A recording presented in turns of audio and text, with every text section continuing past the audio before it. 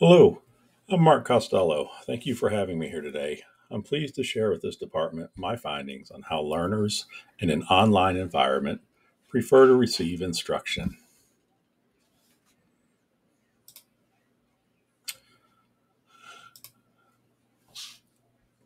During the COVID pandemic, online learning became a necessity. I believe that online learning will continue to grow in popularity due to necessity, such as during the COVID pandemic, as well as due to changing views and expectations of society as gen- younger generations grow up using these rapidly developing technologies. The goal of this survey is to identify the preferred method of content delivery from a learner's perspective.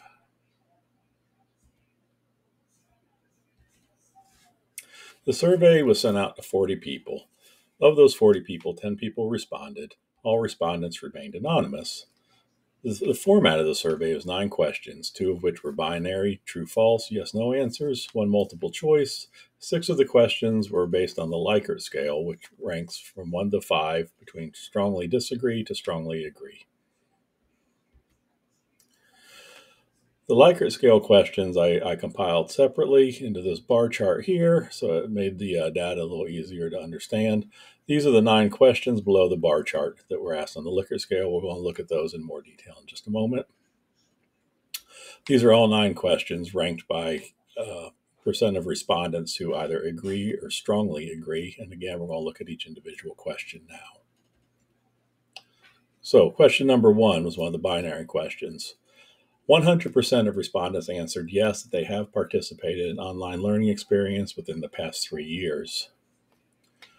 Question two, or statement two, question two, asked which type of learning resource they preferred from their online learning experience, and 80% preferred a combination of the below delivery methods. Uh, the preferred method is highlighted in white there. Statement number three was one of the Likert questions. I am most engaged with online learning. They can move at their own pace. 90% of respondents agree with that statement or strongly agree with it. 60% agree or strongly agree that they uh, interact better with text when they can uh, follow links and deep dive on their own. 70% of respondents either agree or strongly agree that they enjoy playing online games and find that they retain information from their game sessions better than they do from a lecture, a traditional lecture.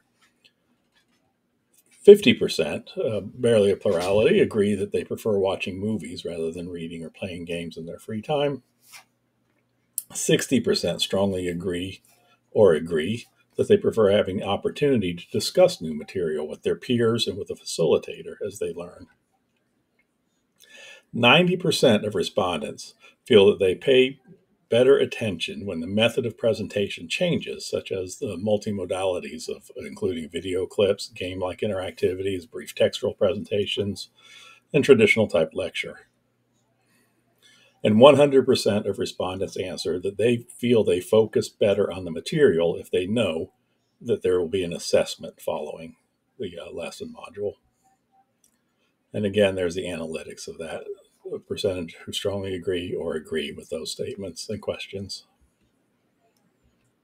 So, with those results in mind, now what? What do we do with that? Well, as an OLE creator, my actionable takeaways are that I will in- incorporate multiple modalities of delivery into my lessons. I will include assessments that are well defined and clearly in advance, and I will offer opportunities for peer interaction during my lessons.